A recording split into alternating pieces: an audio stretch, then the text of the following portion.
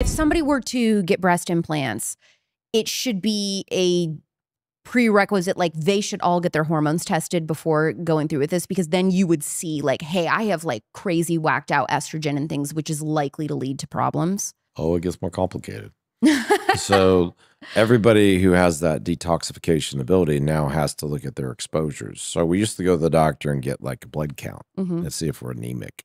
And now i'm the plastic surgeon who checks your toxin levels for uh, mold toxins or heavy metals or environmental toxins. So don't use parabens. Make sure your products go through the environmental working group. I know y'all know this, but I'm going to reiterate that because you get too many chemicals through products for women that cause and wreak havoc on your hormones, basically.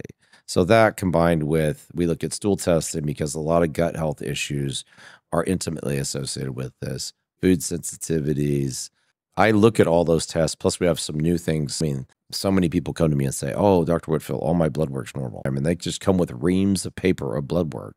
Those tests, Alex, haven't changed since I've been alive, and I'll be 55 next week. So it's not one of those things where, as especially, we're actually helping. So when we look at metabolomics and these new things that are coming, like more genetic testing, now you can start to pull back, you know, the curtain, if you will, to understand what's going on at a cellular level.